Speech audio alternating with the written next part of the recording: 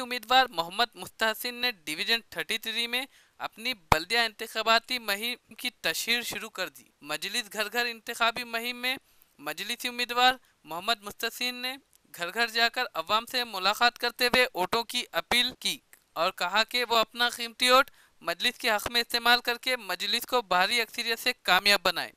इन्होंने अवाम से मुलाकात करते हुए कहा कि मौजूदा हालात को नज़र में रखते हुए मजलिस को अपना कीमती और दे। इसके अलावा इलाके के तरक्याती कामों का ज़िक्र करते हुए कहा कि ऐसे बहुत से काम हैं जो इलाके में होना बाकी है।